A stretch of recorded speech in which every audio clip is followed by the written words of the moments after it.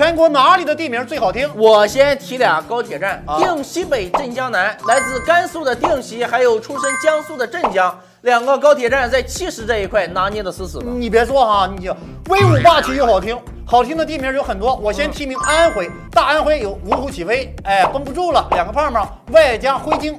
其实啊，好多人忽略了安徽，把安徽的徽字拆开，上下是山水，左右是人文，一个字儿就概括了安徽的好山好水好风光。安徽是安庆和徽州的合称啊，可惜啊，有了安徽却没有了徽州。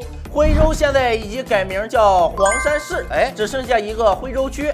好听的地名还得提名云南，云南云南彩云之南云南下边的昆明、丽江、玉溪、红河、普洱、大理、怒江、文山，好多地名都萦绕在山水之间，听上去就给人一种想去旅游撒欢的冲动。这云南的地名啊，有田园风；江浙两省的地名带着文化气，杭州、嘉兴、苏州、扬州、泰州。一提江浙地名，就忍不住想背诗啊：烟花三月下扬州，二分无赖是扬州，欲把西湖比西子。东三省的地名啊也好听，铁岭、四平、大庆、双鸭、葫芦岛，主打的就是个接地气啊，不整什么花里胡哨，就是简单明了，直来直去。要论文化气和接地气，能二者兼修的，那得是河南、河北。嗯，河南的文的，哎，人家有洛阳、开封、许昌、郑州；接地气的是新乡、驻马店、三门峡。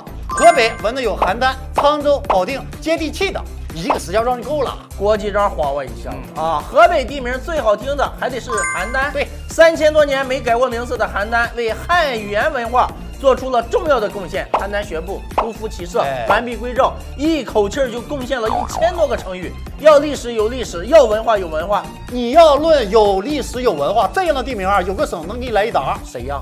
甘肃。哎呀，敦煌、玉门、天水、定西、张掖、平凉、武威、陇南、临夏。还有酒泉、白银、金昌，既古风古韵又威武霸气。张掖，张大汉之业，一下就有种西北望射天狼的霸气。哎还有酒泉，霍去病大胜敌军，把酒倒进泉水里，跟将士们开怀痛饮，得名酒泉。不用比了，甘肃地名最大赛，你还觉得哪些地名很好听？欢迎留言。一起探讨。哎。